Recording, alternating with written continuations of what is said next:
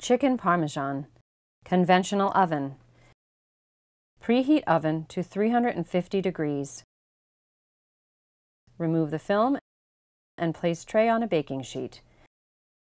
Bake for approximately 50 to 60 minutes, stirring the sauce around the chicken halfway through to ensure even heating.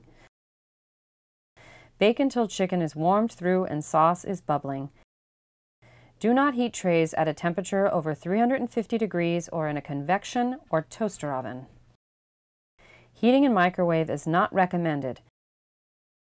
When serving, top with all this additional sauce and cheese.